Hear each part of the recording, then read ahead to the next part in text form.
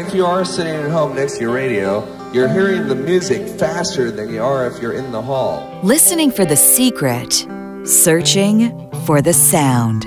This is the Sound Podcast with Ira Haberman. A West Coast musician, the child prodigy of two parent musicians, Natalie Cressman in 2009 made the move east to Manhattan School of Music. It was that move that likely changed her life forever. Since that time, she has graduated from the school and has gone out to carve out a niche of her own as an accomplished trombonist playing with the likes of Trey Anastasio, Motet, and Umphrey's McGee.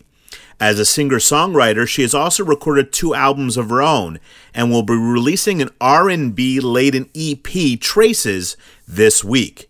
We caught up with Natalie and asked her what led to the move to New York and the Manhattan School of Music. I was involved in this high school program called the Grammy Jazz Ensemble. So it's um, uh, you um, people audition from all over the country that, in high school, and um, if you get accepted, you get to come to LA and play in this student um, jazz big band and play all the Grammy pre and after parties and certain events. So it's a really amazing experience.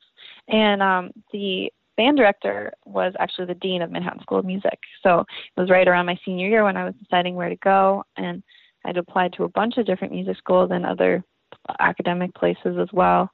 Um, but I was kind of leaning more towards the conservatory route because I was really getting into playing trombone and wanting to do that for a living. And so, essentially, um, getting to know the dean face to face ahead of time kind of gave me, a, you know, an opportunity to have him hear me personally before even the audition process had taken place. So I actually was offered a full ride to Manhattan School of Music, and um, it, they had the faculty that I really wanted to study with, Luis Bonilla, who is a great New York City trombonist, and and then I also studied with Wycliffe Gordon, who joined the faculty a little later on. Um, and they're they're some of the most amazing trombonists and, and teachers. So that's kind of what made that school stand out to me, and also just kind of getting a sense of what it was about by um, working with the dean of jazz, Justin DiCioccio, for a week. Uh, and and your parents, obviously, who are musicians themselves, they must have been ecstatic that you decided. Not that you were going away; you were going to be so far away from your mom that must have freaked her out. But uh, ecstatic that you were going to the Manhattan School of Music. I mean, that's a that's a great school, right? Yeah, they were really happy about it. I mean, obviously they miss me, but they're traveling musicians as well. So we've, you know, kind of already ripped the band-aid off of being away from home. I mean, my dad's been on tour every other month since I was nine. So the idea of me moving away didn't scare them as much as probably most moms and dads because like we've already, you know, gotten accustomed to the kind of long distance um, familial relationship. So there you are. You're at the Manhattan School of Music, and uh, Trey plucks you out of school to be the trombonist for TAB. Yeah. Um, well, actually, I was I managed to stay in school and graduate in four years, um, which because Trey has that other band that keeps him quite busy. So we have um, not you know, familiar with it. The, I guess it was a blessing in disguise um, to not be working that much with TAB. You know, we were only going on tour in two or three week increments, and that's about as much as um, my college would allow for professional leave and I actually, anytime that it was a little over two weeks, I had some like teachers in my corner that would kind of help help me fudge the dates, and I could like pretend I was sick or just like in town but not able to make it to class. Like I was able to graduate by the skin of my teeth. Um, and uh, can we but, wait? Hold on, I got to ask about something because that's amazing to me. You're playing with a world-renowned musician at sold-out venues across North America and probably the tour uh, probably uh, probably mm-hmm. the world. Sorry, and you had to fudge your attendance so that you wouldn't be seen as missing class. Yep. Yeah, they did not.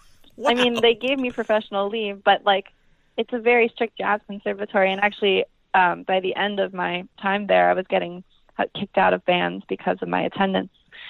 Um, it was just yeah, they totally, there's totally a double standard in regards to if it had been jazz at Lincoln Center, Right. Even I had a friend who did like an unpaid rehearsal at Jazz Lincoln Center, and he was able to skip his band rehearsal.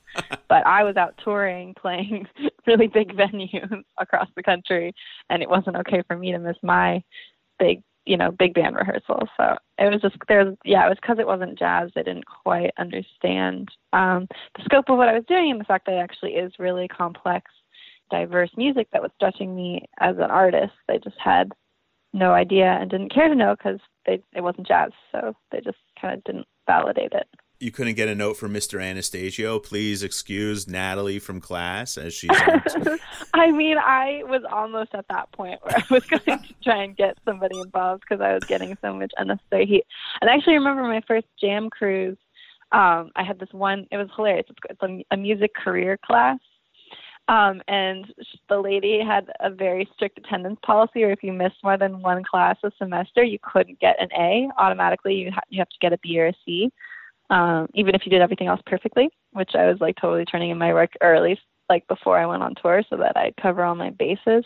And so I actually had to buy like I remember it was like sixty dollar internet for one night on Jam Cruise, so I could Skype in to a music career class so that she wouldn't lower my grades.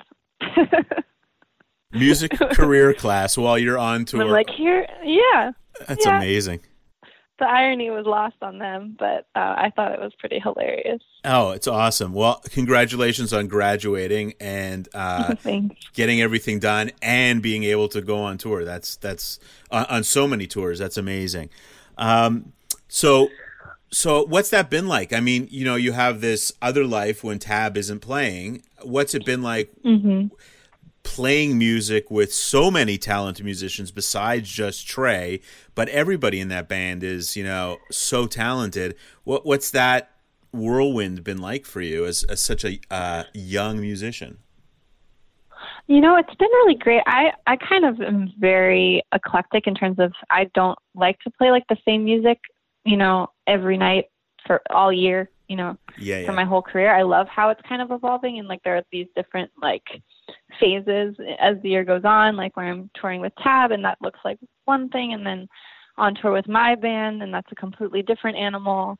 Um, and then getting to work with you know different groups and artists kind of as a special guest or or kind of one-off shows. So I I really like that it's you know it's a very varied experience for me um, and it kind of keeps me growing because i'm not i feel like once you get too comfortable in one thing the the improvement and the growth kind of stops. So I get to kind of be thrown in these situations that keep making me feel challenged and like I'm, you know, I, I guess there's, you know, music isn't finite, so there's no like, oh, I've learned it all and I'm there. You know, you're constantly like working to like better yourself and, and hone your craft. So I think for me, the different experiences that, you know, being involved in like so many different bands, um, it keeps it fresh and keeps me kind of moving forward. I think and and so it's reflected in your solo work too. I mean, uh, the two, the the three records now. The last one with Mike Bono is, you know, very singer songwriter type thing um, with some mm-hmm. trombone, obviously. But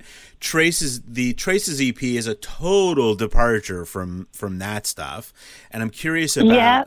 I'm curious. I'm curious about. Well, we talked about you know being an eclectic musician, and obviously hearing eclectic music is probably a big part of, of what you do on a on a daily, on a consistent basis, if not daily basis. But what made you take this leap now into such a, you know, R and B kind of dance kind of zone? What what made you take that leap? Well, I started listening to different artists that were kind of doing that. I mean, I'm definitely coming from more of a singer songwriter place but hearing artists like Kimbra and King and um, even to some degree Hiatus Kaiyote that you know that have really kind of added this complexity to dancey grooves and and kind of R&B, but like it's a very modern sound, and so I kind of was getting that into my head, and I really like the idea of of you know staying true to who I am musically, but also like maybe bringing in a different group of people that you know might not enjoy the show if it was all trombone solos every song. But if you know if the songs are good and they're presented in such a way where there is some you know musical meat for like the the mu- musician you know artsy types that they can still kind of dig in, but also it's presented in this aesthetic where it kind of is relatable to more people. I kind of wanted to try it, it was definitely a challenge to kind of keep that balance of like keeping my art, artistic integrity in check intact and then um and then also trying to kind of reach out to this new um, new audience, this new style, um, and including this new aesthetic into what I was doing. Uh, from an aesthetic point of view, uh, it's gorgeous. By the way, the whole EP is really pretty. But you know, Thank the you. foundation of being a singer songwriter is still there, and certainly being a singer. I mean, you're still having to sing, you know, some crazy notes and and and do some crazy things with your voice that you probably experimented a bit with when you were just, you know, singer songwriter, uh, Natalie Cressman. Mm-hmm. But but certainly there's a, a wider range of uh, ability and and and temptation now with this this style of music, right? Yeah, and I mean, I think for me, I I really enjoy music that's unpredictable. Like I love so many styles of music, but that's one thing that I really uh, across the board respond to. So I think for me, that will always be there in my singing, no matter what genre the music might fall into. I'm always going to be kind of trying to push for some surprises in one way or another. How involved were you with the production? I mean, besides vocals and the trombone parts, uh, do you play any other instruments on the record? Um, well, I, I actually all the entire record started as um, demos programmed by me. So I didn't play. I mean, I played keys and I programmed the drums, and um, you know, created synth parts and and such. So that was it was definitely the most involved I've been on the production side ever, because they really started out as these. You know, they were rough around the edges, but the songs were fully done when I brought them into the producer. And then from there, we changed up a couple grooves and take, took some things out and tweaked some things that were there and then added the rest of the band in. Um, but yeah, I definitely like was for the first time more of a producer in like the sense nowadays where you are making the beat and writing every element of the song. Um, but my producer Ivan Jackson then also put his stamp on it, and definitely like a lot of the songs wouldn't be, you know, achieve the end result that they have without someone that does that for a living. But um, but I mean, in the past, I've made really live records that were basically my band in a room recording, and so I was I was a producer in that you know I was overseeing the way that the record was made. But this was the first time that I actually kind of like was hands on working on it um, in a you know uh, performance um, software, you know, recording software. Yeah, I mean it's so easy now, right? I mean, if you're as talented as you are, you just open GarageBand or Logic Pro or whatever on your laptop, and you can pretty much do anything you. Oh, well, you can. I, I can't do anything, but most, you know. Uh, talented people can absolutely probably do anything now with with their laptop or even their their iPad for heaven's sake, right? I mean, it's it's crazy. Yeah.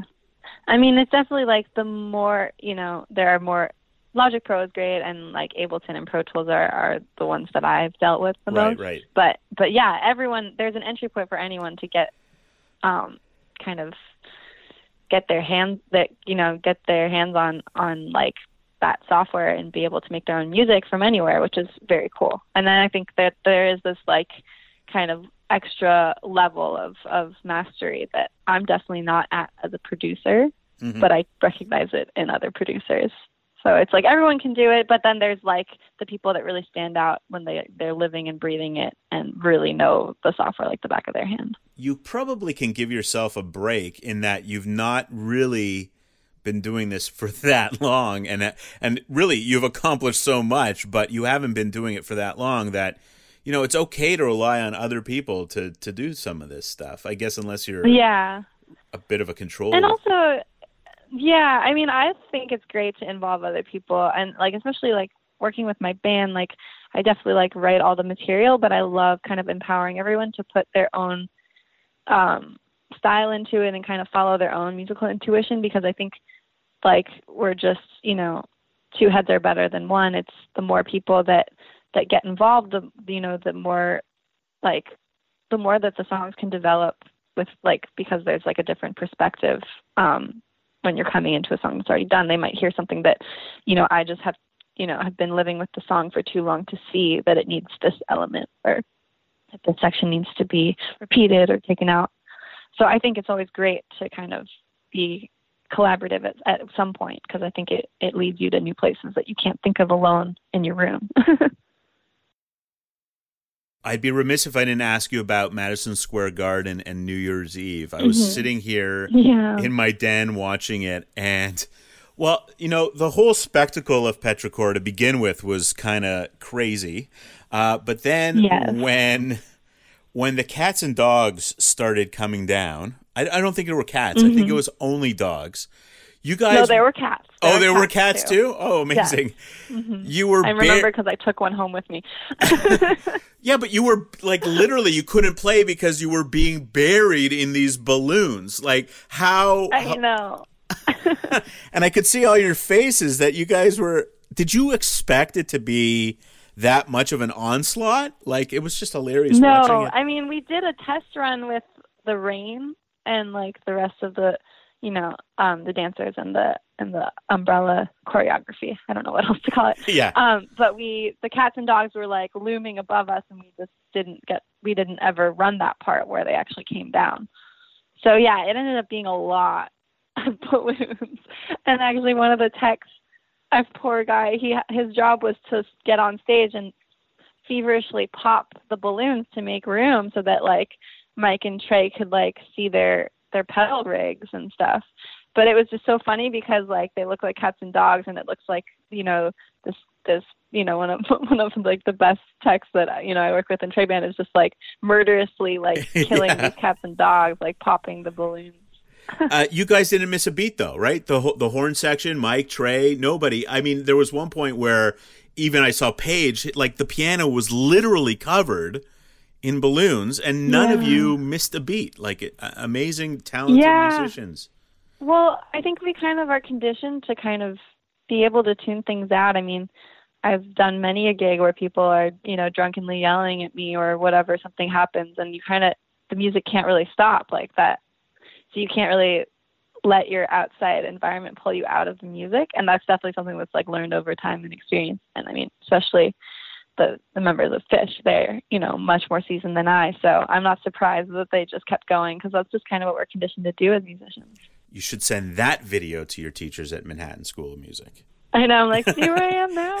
well, it's funny because actually, after after I graduated, they put my my picture in the in the program book for the school, like you know, with the, the thing that they showed to prospective students, and they were kind of bragging about how I tour with Phish, which was not true. Right. I didn't even get it quite right. But it was just so funny that like while I was there, I was getting penalized for being in this cool band, and the second I graduated, the like PR department for the school was like, oh, Natalie's doing cool things. Let's talk about her.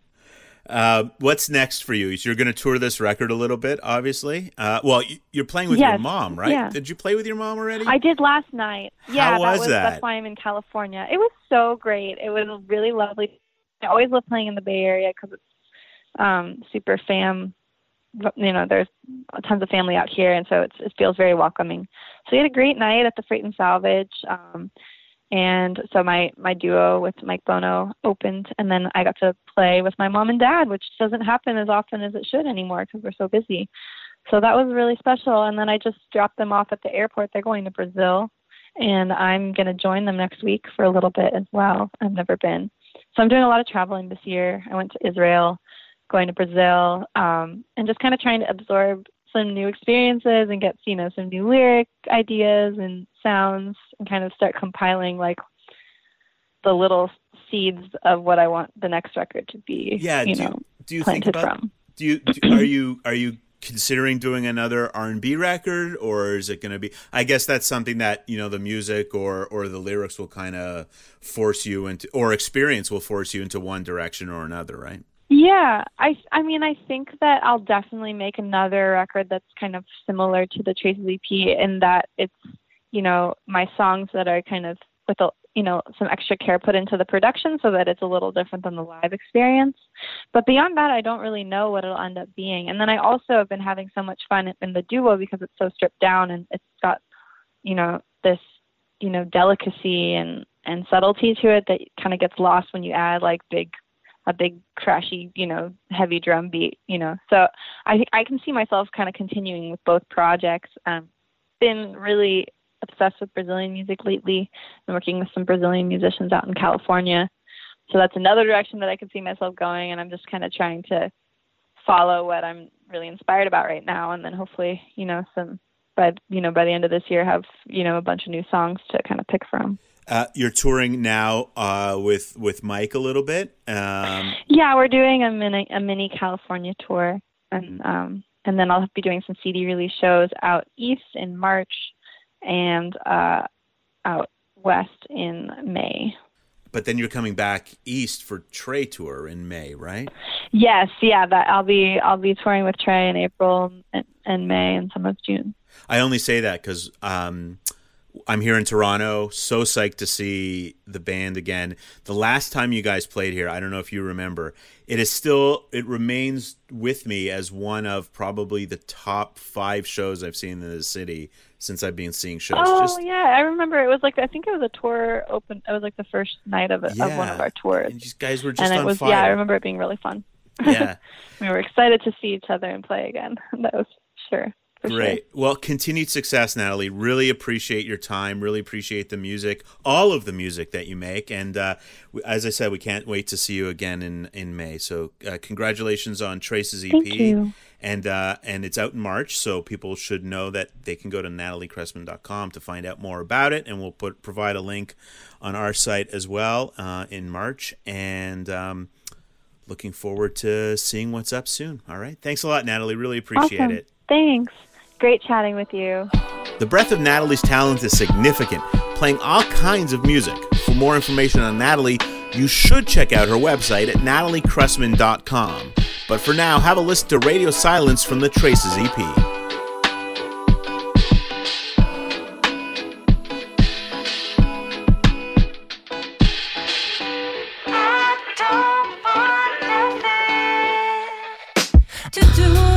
to do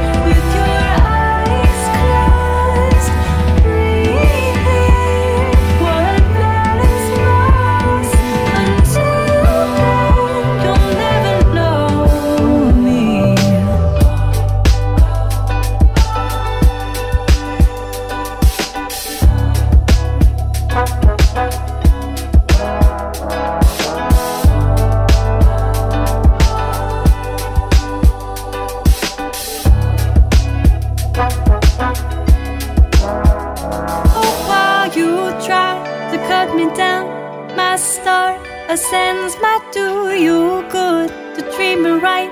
While there's time to make amends, you, your regret, your radio silence. I won't forget your radio silence. You've been listening to the Sound Podcast. Technical production by Adam Karsh and Andrea Ruse. Inspired by the Grateful Dead and you, their fans. Like us on Facebook. Subscribe on your favorite podcast platform. And find us at thesoundpodcast.com.